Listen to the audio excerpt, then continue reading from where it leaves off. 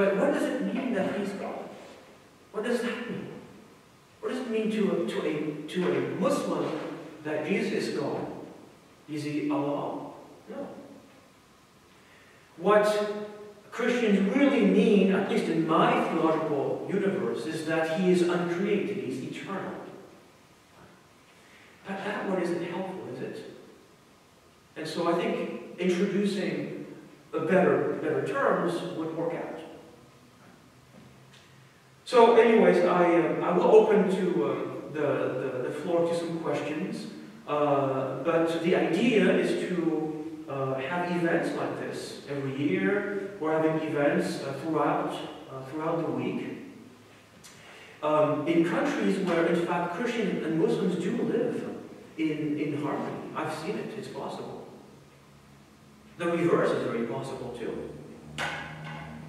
When I was studying uh, Byzantine history, I came across a very interesting citation by uh, an eyewitness to the Crusades. Now, Orientals have a long memory. This is recent history.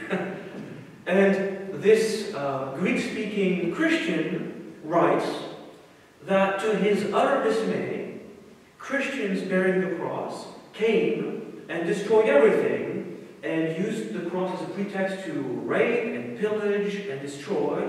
And he says, but the Ishmaelites, that's the way he called uh, Muslims, did none of these things. They were respectful. And he was very puzzled. And so it goes to show that, um, that uh, history uh, is something to learn from.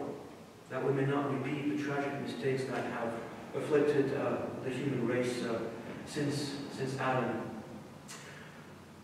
So I'm done with my lecture. Um, I will stop the recording for, for that part, and then um, I will take any questions uh, that you may have.